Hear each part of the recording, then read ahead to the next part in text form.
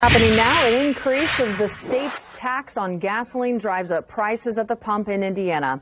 The tax went up 1.1 cents today. The rate per gallon will be just over 23 cents. It had been 22 cents.